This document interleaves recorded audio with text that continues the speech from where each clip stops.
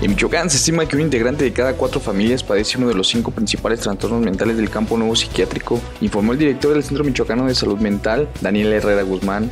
Esas enfermedades corresponden a la ansiedad, los trastornos psicóticos, el consumo de sustancias nocivas, la epilepsia y la depresión, siendo este último padecimiento el que más casos presenta en el estado. La depresión, que es un problema de salud pública eh, no nacional, sino mundial. Lo que sí mm, debemos de tener claridad es que cuatro o cinco enfermedades mentales están constituyendo las, las primeras diez causas de carga económica para los diferentes estados en el mundo y además participan de las primeras diez causas de discapacidad en el mundo.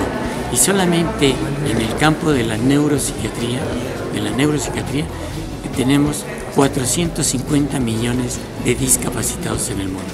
Durante la charla, el funcionario estatal enfatizó que la Secretaría de Salud de Michoacán está pendiente de vigilar el avance de esta enfermedad, de tal forma que en varios nosocomios tiene espacios especializados para la atención mental.